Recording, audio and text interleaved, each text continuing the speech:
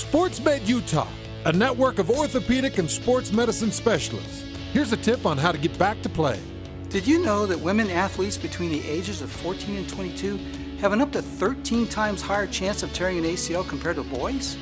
There are well established 15 to 20 minute exercise programs that you can incorporate into your training that can reduce the risk of injuries by up to 70%.